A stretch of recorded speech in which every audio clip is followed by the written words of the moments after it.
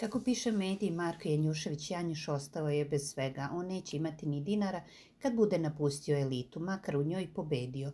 Naime, nekoliko dana pre nego što je ušao u reality, Janjuš je obnovio kontakt sa svojom bivšom ženom, Enom, i faktički se pomirio. Iako ona nije bila sigurna da je to pravo pomirenje, on je na svaki način ubeđivao da se promijenio, da njegov ulazak u elitu neće značiti ništa te da će se potpuno promijeniti.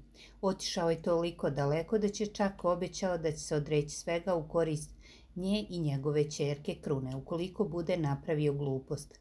Naravno, Ena mu to nije poverovala, a Janjuš kako bi bio siguran da će mu ona poverovati, odlučio da ode kod advokata i sastavi izjavu kojom se odriče svega što zaradi u eliti, makar to bila i pobeda.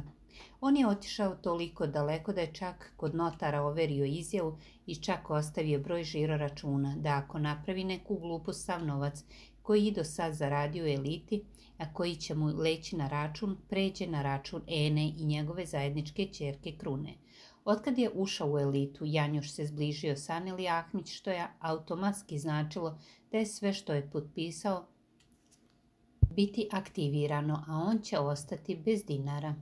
Ono što je sigurno je to da Aneli ne zna šta je Janjuš uradio napolju, a njena rođena sestra čak nije ni sigurna kako će njihova veza odvijati se, jer sama kaže da je vrlo nestabilna i da se njoj Janjuševo ponašanje nikako ne sviđa.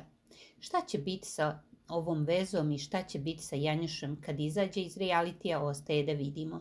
Svakako mnogi kažu da će uz Aneli Janjuš morati da prihvati i njenu čerku ako bude želeo da ta veza opstane i van zidova bele kuće.